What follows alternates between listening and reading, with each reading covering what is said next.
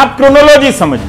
किसी ना किसी टॉपिक में पाकिस्तान लाकर एंकर ऐसे मजमा जमाएगा, बताएगा जैसे वही अकेला पाकिस्तान से लड़ रहा है, सेना नहीं लड़ रही है। लेकिन आपको वो अपना खेल नहीं बताएगा कि कैसे पाकिस्तान का नाम लेकर हिंदुस्तान को खोखला कर रहा है। कल हमने पाकिस्तान के अंदर घोरा। आज उन्होंने हमारी सरहद में घुसने की कोशिश की तो फिर मारा। एक बार और मारा। पाकिस्तान पर हिंदुस्तान ने हमला किया तो सवाल पूछने लगे, ऐसे लोग देशद्रोहियों पर सवाल कब करेंगे? पूछता है भारत। शर्म होती है मुझे कि हमने अपने सेना को विवश कर दिया आज, कि प्रेस कॉन्फ्रेंस करके कहे, नहीं नहीं, हमने एयर स्ट्राइक्स किए विश्वास नहीं होता। कोई और देश में ऐसा नहीं होता है। सिर्फ़ भारत में होता है। सिर्फ़ भारत में होता है।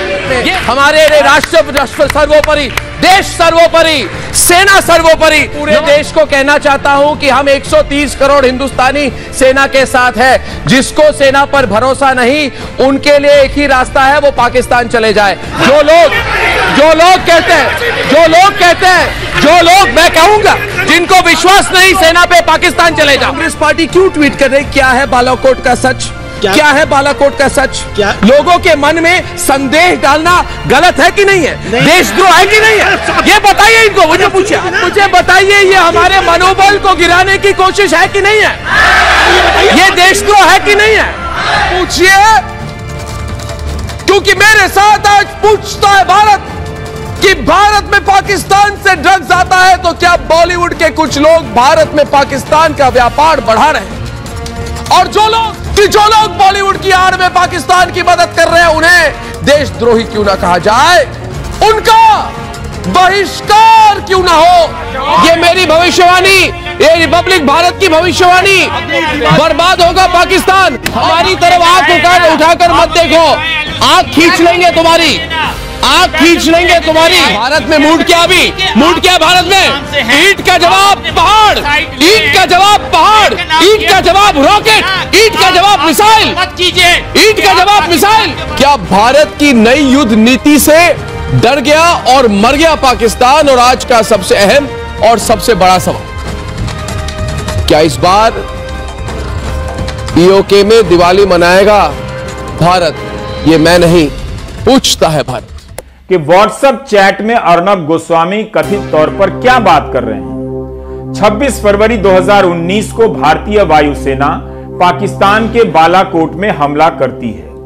देश को ऐसे बताया जाता है कि गुप्त मिशन था और पहली बार पता चला है हमले के बाद, जब मिशन पूरा हो जाता है। लेकिन अर्नब गोस्वामी को यह सूचना तीन दिन पहले से थी। जय हिंद एंड भारत माता की जय। India has struck Pakistan and we have struck them hard. And most importantly, we have struck them straight in the face. Just want to say that today truly, truly, truly, truly, truly is a day for all of us to come together and celebrate.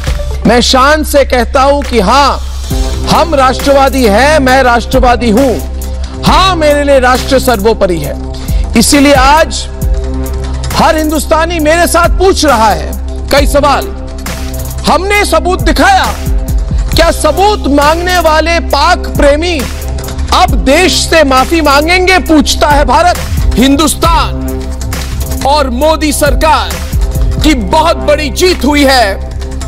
Breaking खबर यह है कि Masood Azhar global आतंकी घोषित हो गए हैं। पुलवामा का असली बदला आज पूरा हुआ है।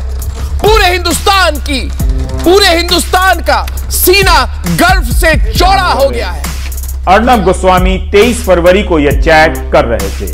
इस चैट में अर्नब गोस्वामी कहते हैं कि हाँ, एक और बात कुछ बड़ा होने वाला है।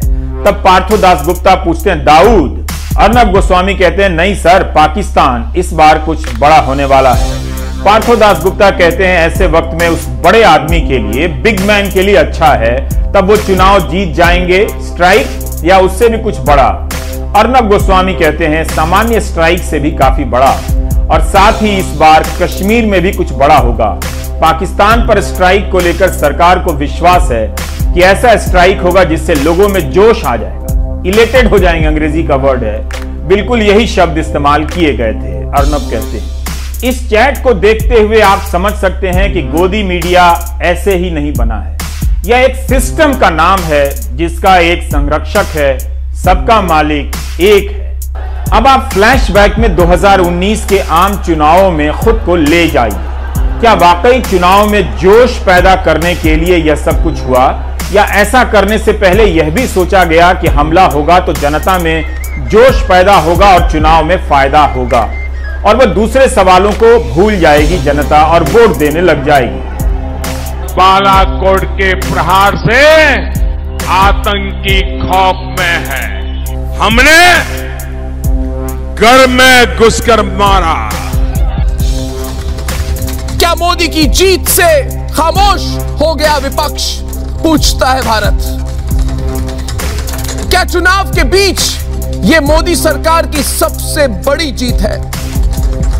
पूछता है भारत, क्या सेना और सरकार से अब भी सवाल करेगा विपक्ष? पूछता है भारत। अर्नब गोस्वामी उस सिस्टम का नाम है, जिसके तहत विपक्ष को खत्म किया जा रहा है। 16 जनवरी से यह खबर सोशल मीडिया में वायरल है। यह चिंता से आगे की बात है कि राष्ट्रीय सुरक्षा की गंभीर योजना में टीवी चैनल को शामिल किया गया। इससे करोड़ों लोगों के विवेक पर हमला किया गया और चैनल ने करोड़ों रुपए से कथित तौर पर कमाने का जुगाड़ किया। भारत में बेरोजगारी है, करोड़ों लोगों की नौकरियाँ चली गई, बिज़नेस बर्बाद हो गए। आम लोगों को बानवे से पंचानवे रुपए लीटर पेट्रोल के देने पड़ रहे हैं। आखिर अर्नब किस भारत माता की जय बोलते हैं? राष्ट्र सर्वोपरि राष्ट्र सर्वोपरि।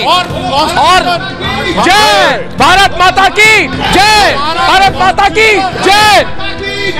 वंदे वंदे वंदे मातरम वंदे मातरम वंदे मातरम।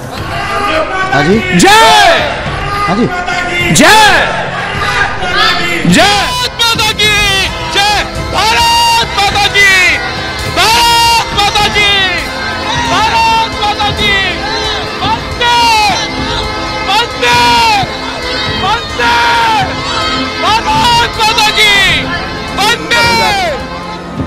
क्या झूठ पर पर्दा डालने के लिए भारत माता की जय बोला जाना चाहिए।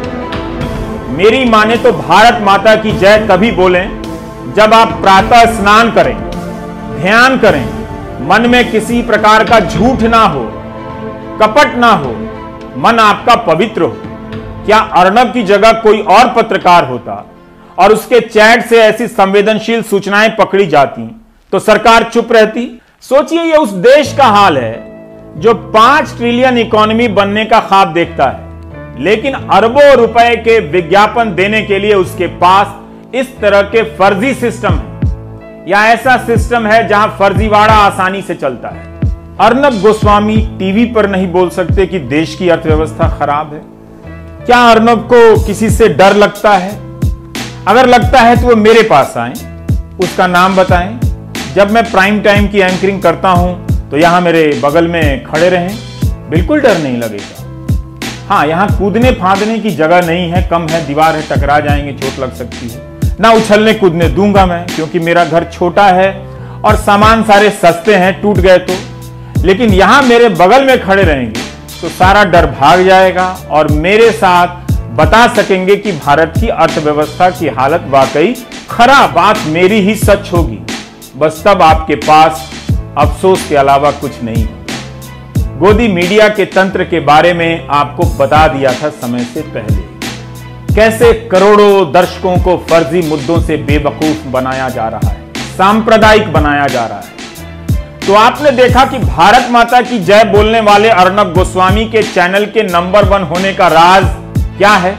Do you get my point what will you do when there will be no democracy check कितनी बार कहा है, आज फिर कहता हूँ। गोदी मीडिया भारत के लोकतंत्र की हत्या कर रहा है, कर चुका है। तत्काल न्यूज़ लाइव के वीडियो देखने के लिए हमारे चैनल को सब्सक्राइब कीजिए और नोटिफिकेशन पाने के लिए बेल आइकॉन प्रेस कीजिए।